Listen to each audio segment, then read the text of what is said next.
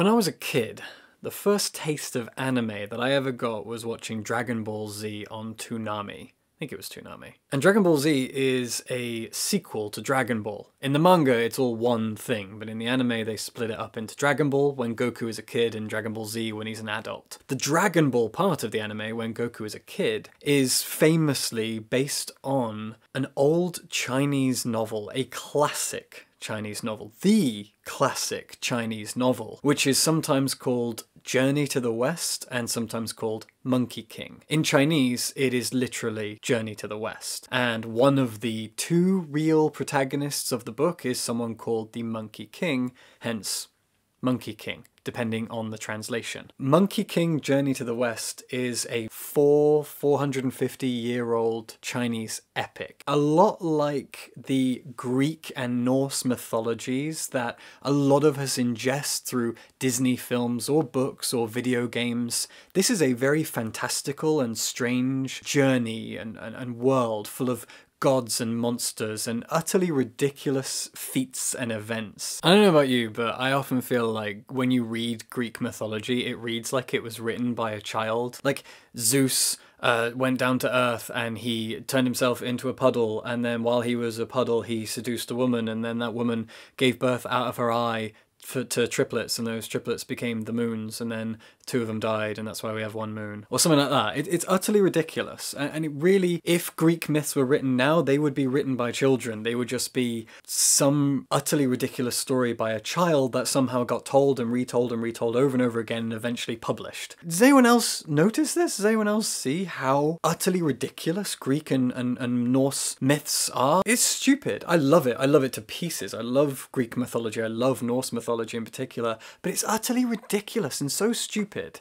And if you like that stuff, and I like that stuff, I'm calling it stupid, I absolutely love it. If you love it, you need to read Journey to the West slash Monkey King. For the purposes of this video, from here on, I'm going to be calling the book Monkey King because that's the version that I've just read. That's the version that I have. That is the brand new translation of this story from Penguin, translated by Julia Lovell, who has done an astonishing job. So like I said, if you love the ridiculousness and the utter nonsense that, that you see in Greek mythology and Norse mythology, you're going to want to read Monkey King. This is a book full of crazy moments, ridiculous fantasy, over the top things that just don't make any sense. The titular Monkey King, for example, mentions at one point that after he masters the thousand transformations that are possible to master, he can turn himself into literally the size of the universe, all the way down to literally the size of a hair. It feels like it was written by a child, and I am not saying that to, to diminish the wonderfulness of this book. These are good things. These are great, fun, ridiculous things, and I had a blast reading it from page to page. So what we have here this year, 2021, is a brand new translation of Monkey King by Julia Lovell,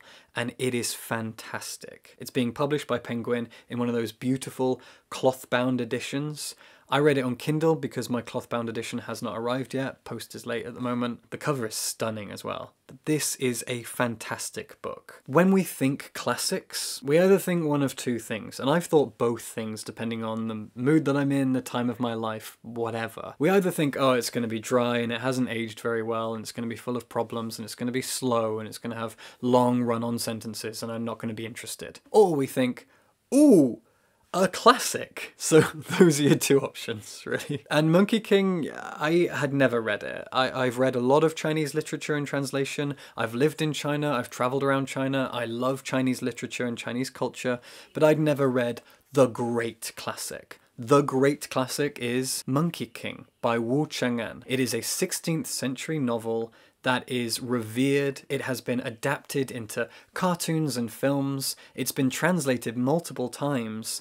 And in her translator's notes for this version, Julia Lovell talks about how language changes, and that's why we need to keep translating classics. And I was a little confused when I first read that. I thought, but the book hasn't changed, the language in the book hasn't changed. She meant English. English changes. And immediately when you start reading this new translation of Monkey King, you get it. You totally understand where she's coming from because the language that she uses in this book is young, it's vibrant, it's 21st century. She's using colloquialisms, she's using modern language to lure us into this 16th century fantastical Buddhist Chinese myth. Uh, it's fantastic. It reads like a modern novel, and I think that's what helps it sound like it was written by someone very young with a vibrant imagination and a ridiculous flair for the theatrical and the fantastical and the stupid. I absolutely adore that. It's camp and it is it is full of fun. If you're worried that this might be a dry classic, if you, you feel like, you know, you've never read Tolstoy or the Iliad or Ulysses because you're worried that these things will be too dry, do not come at this book, Monkey King, with that same philosophy, that same outlook. It is not that. This is a vibrant, utterly ridiculous fantasy novel. From start to end, it is a journey of excitement and bombast, and I loved it to pieces. The translation from Julia Lovell is astonishing. So, what's it about? The story of Monkey King follows two main characters the titular Monkey King and a traveling Buddhist monk. And this Buddhist monk was based on a real person who I don't know much about. So the titular Monkey King takes up the first quarter of the book, book one of the four books that it is kind of split into, and he is a ridiculous character. The book begins, as I've mentioned, very much like a Greek or Norse myth. It's a creation story. It tells the story of a mountain. At the top of this mountain is a rock, and that rock suddenly explodes into life and gives birth to a monkey. The monkey pops out of this rock, fed by the five elements, and then he's suddenly this monkey. And this monkey has a name, he's given a Buddhist name, which is Sun Wukong, and he's mostly just known as Monkey or the Monkey King, and he slowly learns things. He gets taught by a Buddhist master, and he learns all the great powers, uh, fantastical, magical powers that anyone can possibly learn. And he goes to a dragon's temple or castle and he forces the dragon to give him some weapons and armor and won't go away until he has the weapon he wants and he ends up being given this giant iron staff which he can shrink and grow as much as he wants. So he's got this iron staff and he's got all these crazy powers and he learns to defy death before all of this, he he lives in a cave behind a waterfall with all of his subjects, and he has like a kingdom of monkeys and a kingdom of other animals, and, and he's he's the lord of the jungle, and he lives there for a, a long, long time, and then he gets all of these powers. He learns to defy death, and then he goes, right, I'm invincible, I'm perfect. And then he basically pisses off heaven, and slowly but surely he picks a fight with everyone in heaven. He ends up working in heaven because the uh, Jade Emperor of Heaven decides that it's better better the enemy you know, keep him busy, give him a job, and hopefully he'll behave himself, but he doesn't, and he ends up getting drunk and breaking things and picking fights with people. And he's just a horribly unlikable protagonist. And he is our protagonist for the first quarter of the book. And he picks a fight with Heaven, and he ends up fighting people, and blah blah blah. Eventually, Buddha, literally Buddha, comes along, fights him, defeats him, and seals him under a mountain. Puts him in this casket, and he's locked under this mountain for 500 years. That's book one of four. That is the first quarter ish of the book. We do then move on to our second kind of main protagonist, the journey to the west. This protagonist, this character, is a monk, and he has a fantastic origin story. His father was killed, and his mother was then kind of enslaved and forced to be the wife of the person who killed his father. And she has a baby, and she bites off the baby's toe so he can be recognized before Mosesing him down a river and so he goes off down the river and he's given a note to say, you know, who he belongs to, etc. And eventually he gets trained up to be a Buddhist monk pretty much from age naught. He's trained up to be a Buddhist monk and then he goes to find his mum and his dad is dead. Eventually he's he's sent on a big journey. There's also um, a bodhisattva I think that's how you say it, Bodhisattva. But this Bodhisattva, she locates him and she decides, ah, yes, this is the disciple that we need. And what they need him for is that they decide that the southern kingdom of this world, which, uh, as far as I know, is basically India, this southern kingdom isn't proper. It isn't developed enough. It isn't modernized enough and everyone there is a savage and a bit cringe thinking about it but they say right we need to send a bunch of buddhist scriptures down to this land to give everyone laws and guidelines and restrictions so that they can sort themselves out and be a bit more civilized. And so they send this monk this titular character who was the baby with his toes bitten off and now he's sent off on this journey. And so he's got to collect these scriptures, these Buddhist scrolls, then take those Buddhist scrolls down to the south. And his journey, he's going to be met with demons and monsters and all of these crazy fantasy things. They're going to kind of stop him and halt his path, and he's going to have to use his mind to overcome them. He is a Buddhist, so he's a vegetarian, he's a pacifist, and he needs to use his wiles to get past things. Fortunately, Early in his journey, he meets Monkey. Monkey has been trapped under this mountain for 500 years, and he's now been set free, but he's got this band around his head that means that he can't really disobey too much, kind of like handcuffs or like a shock collar. And so he is the muscle. Monkey is now a kind of disciple, uh, kind of bodyguard of our monk, and the two of them go on this journey together. I won't tell you any more from there. That's where the real journey begins. So the first quarter is Monkey, it's all him, and there's all these ridiculous shenanigans that he gets up to he turns himself into things, and it very much reads like any Greek or Norse myth where he does impossible things. He's kind of like Loki. You know, that story where Loki turns himself into a female horse and gets impregnated? Weird things like that happen to Monkey, especially when he's picking fights in heaven and then gets locked under a mountain. And then after that, we get our, our main story, the introduction to our monk, and then the journey, the journey to the west begins. Uh, the monk himself, he has like four different names. Uh, he has a birth name, and then he has the name Xuanzang. And Xuanzang, I believe, is actually the monk that he was inspired by, real life monk. But mostly throughout the journey, he's referred to as Guan Yin. Changing names in ancient China was a pretty ordinary practice, and some people would have several names throughout their life. I think that's a brilliant philosophy, personally. And so you have Guan Yin, I guess. Guan Yin is our monk, and Monkey is his companion. What makes this such an exciting version of Monkey King is the translation. Now, Julia Lovell is awesome. She is a scholar of Chinese cultural studies, Chinese language. She's written several books about China. She's also married to Robert Macfarlane, an author who I absolutely adore. That's cool. So Julia Lovell has done an exceptional job retranslating this Chinese classic, injecting it with so much life and wit and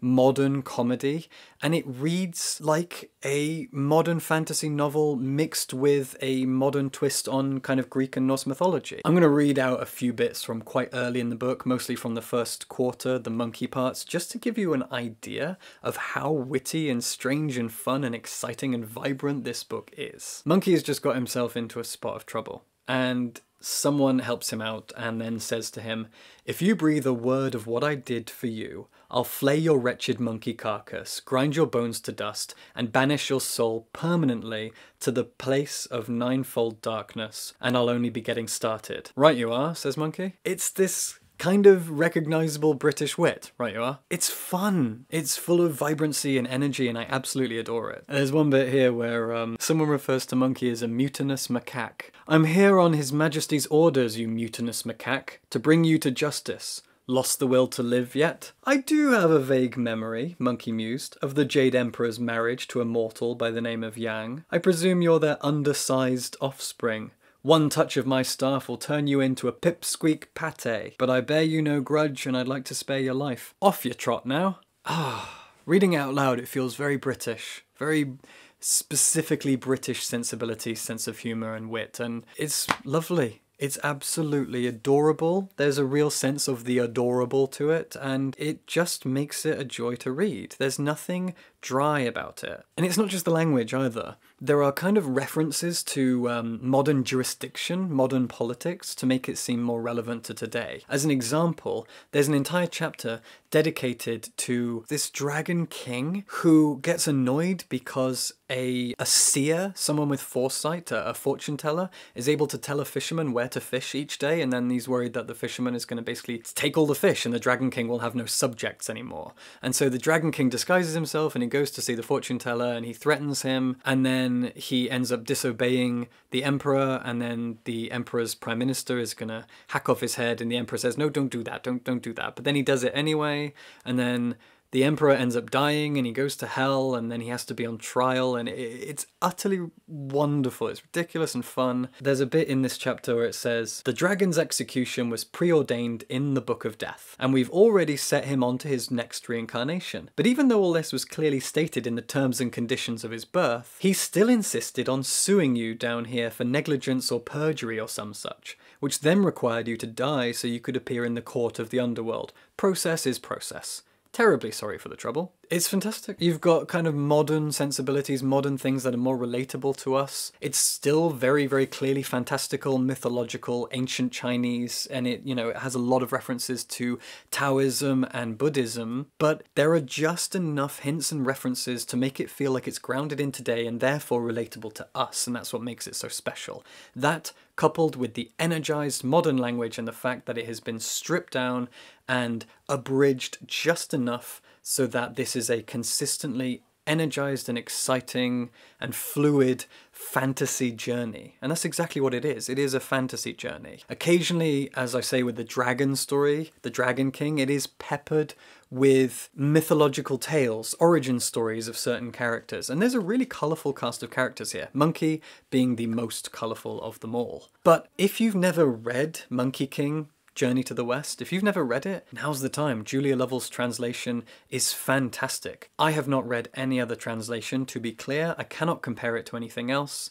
I am interested, but I also want to hold this very, very close to my chest and assume it's probably the best that you can get right now in terms of a translation of Monkey King. It just is the right length. It is full of colour and pomp and camp and splendour and excitement. It's energetic and fun and free. And this is what classic tales need. This is what mythology needs. If you're going to read mythology, if you're going to read classic novels, if you're going to read old fantasy, you need it to be energized and relatable. And Julia Lovell has done such a splendid job of translating and bringing Monkey King to the 21st century, to us as a modern audience. If you're going to read a classic Chinese novel, you're probably going to read Monkey King. It is the most famous of them all, and this is the best version that you're gonna get. I imagine. So go read Monkey King. If you love fantasy novels, if you love Greek mythology, if you love Norse mythology, if you love the ridiculous tales of gods and monsters in these stories, if you love journeys, if you love a story that takes you on a journey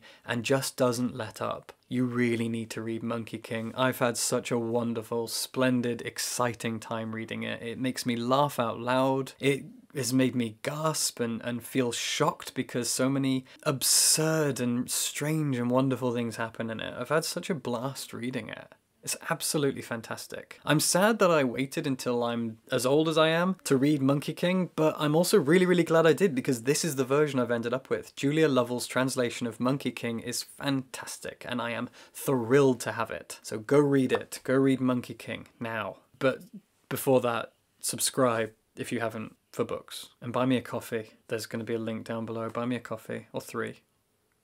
I like coffee.